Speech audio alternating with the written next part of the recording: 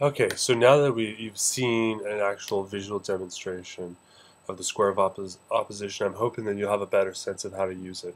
Ultimately, the key to all of it, in terms of differentiating the modern and the traditional squares, is to understand the existential fallacy.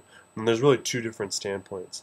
The Aristotelian standpoint says that you can know if things are universally the case, um, and if you say that something, uh, if you make an argument about something that doesn't exist, then you commit the fallacy. So, for instance, if I say all cats are animals, therefore some cats are animals, that's true by Aristotle's view, but it's false by Boole's perspective, because Boole says you can't assume that a universal gives you particular knowledge, uh, which makes sense because we don't have universal cognition. Um, so that's a case in which we see that the two different standpoints, the Boolean and the Aristotelian standpoints, separate.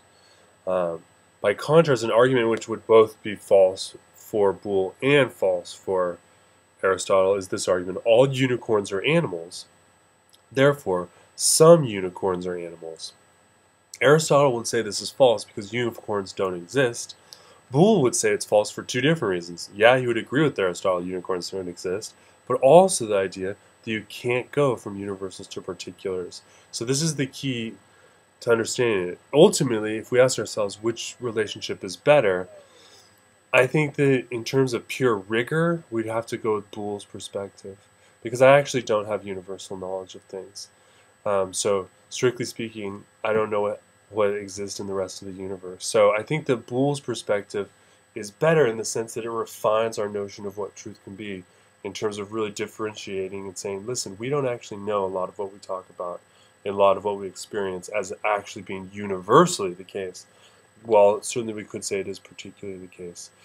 Um, Aristotle takes the common sense view and says, listen, if you know that trees exist in the particular sense, you can say universally that um, you can talk about trees in a universal sense. Um, so I'm, while I personally am, this from my philosophical perspective, um, am sympathetic to Aristotle, ultimately I think Boole's right and that if we want to actually talk about what we can be certain of, we can't actually be certain about these relationships in the traditional square of opposition. But anyway, we're going to use them in logic to test immediate inference arguments. And I think you'll find that it actually adds to our perspective here. Um, okay, so that's it for this lesson, and then we'll move on in 4.6 and talk about how Venn diagrams will relate given our new understanding of Aristotle's of Aristotle's traditional square. Okay?